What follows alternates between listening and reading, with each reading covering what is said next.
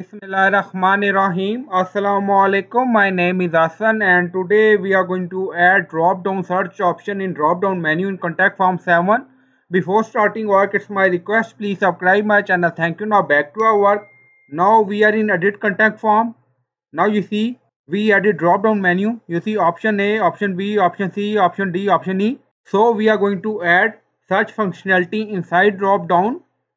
Now go to dashboard on left side you see plugin so click on add new. So we are going to install plugin. Then in search plugin write drop down search option for contact form 7 scroll down. You see this is plugin we will use. So click on install now. Then click on activate it. So plugin is activated. Now go to contact form 7 page.